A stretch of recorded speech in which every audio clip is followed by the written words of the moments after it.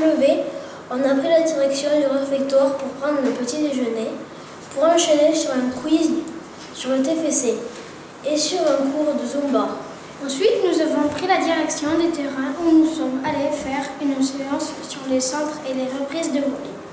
Les gardiens ont ensuite enchaîné par un spécifique alors que les joueurs de champ sont allés se doucher. Après le repas, nous sommes allés aux activités que l'on avait choisies un peu plus tôt dans la journée.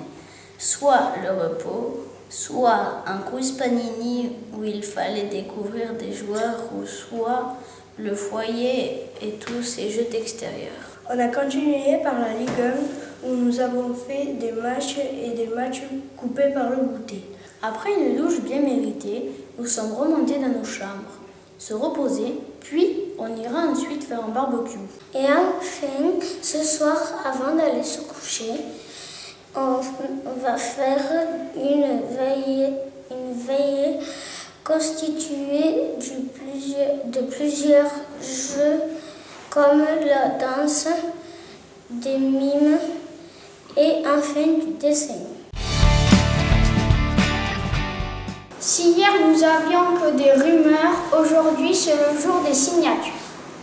Le réveil du PSG, une deuxième signature en deux jours. Lucas Digne pour 13 millions d'euros.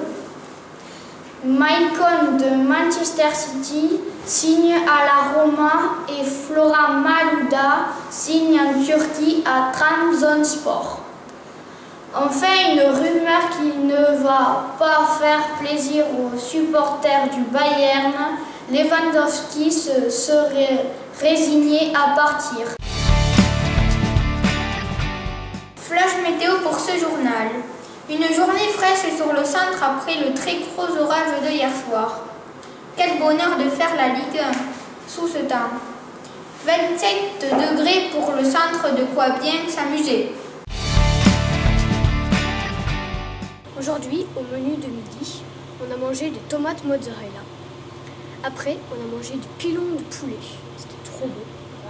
Une purée de légumes et une glace. C'était trop bon. Après, euh, le soir, ce soir, on va manger euh, un buffet de hors-œuvre, euh, barbecue, pommes dauphines et dessert au chocolat.